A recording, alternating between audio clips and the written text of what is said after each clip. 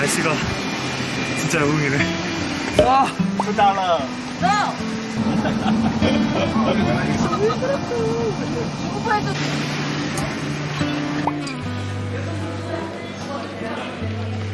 가깝대요? 안 탔어? 네. 공연 끝나고도 한 번도 안 탔어요. 왜? 각성했나봐요. 얘기 때문에. 비행기 타고 왔는데 앞에 한 살 좀 안 돼 보이는 외국 애가 남자애가 계속 나보고 웃는 거예요. 계속 놀아줬어요 이렇게. 걔네 할머니가 갑자기 말 걸어가지고 영어로 해가 아 그것도 긴장하고 뭐 잠을 못 자겠다고.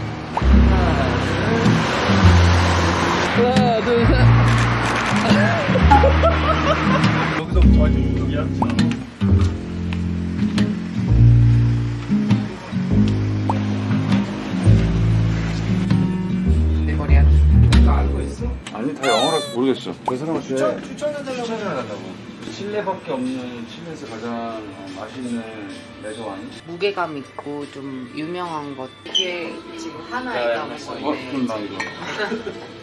특별 지역에서 나오는 건데 가장 평가가 좋은 어, 거예요. 그럼 좀 이래 형 거. 뒤로 때 이게 너무 싸다.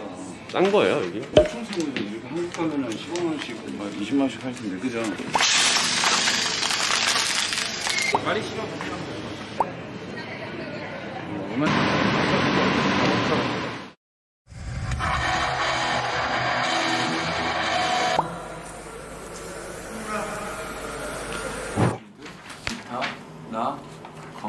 펜스가 이렇게 쳐져 있잖아요. 이렇게 쳐주시면 안 돼요. 그래서 요거- 현중 씨가 펜스 안을 페스티벌처럼 이렇게 지나다닐 수 네. 있게 근데 그 대신 여기다가 계단 이렇게 해줘서 뭐 뭐랄까. 아일랜드 스테이지를 만드시고 싶은 네. 거예요? 그냥 어, 그냥 네. 이게 뭐 대단하지 않아도 조명이 없어도 되니까. 그냥 관객하고만 가까이 네. 그래서 싶다 하시는 말씀.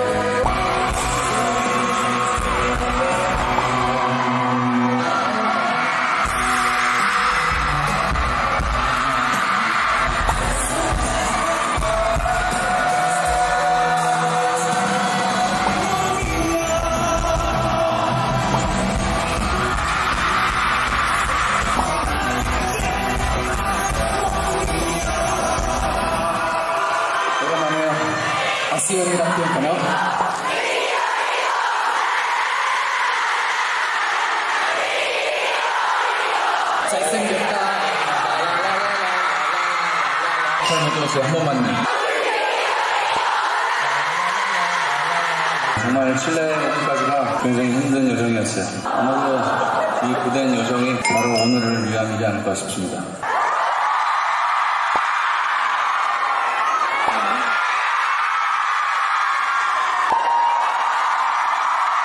칠레는 와인이 유명하잖아요. 저도 한국에서 잘 먹어요, 칠레 와인. 한국에는 여자를 만날 때 이런 말이 있어요. 와인을 먹을 때 와인을 모르면 무조건 칠레산 와인을 달라는 말이 있어요. 계속해서 불빛을 좀 비춰주겠어요? 저 불빛 가운데서 아, 노래 한번 해보고 싶어요. 제가 저 가운데로 가더라도 절대 저를 향해서 불빛을 계속 비춰줬으면 좋겠어요.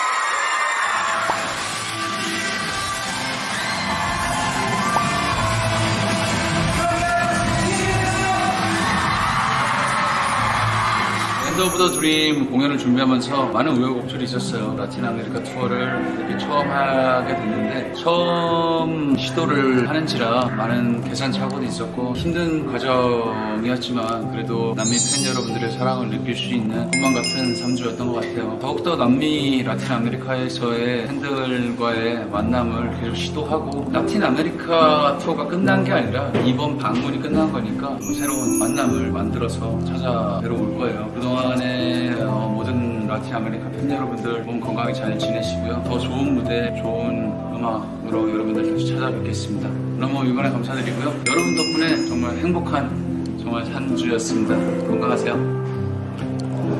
수고하셨습니다. 고맙습니다.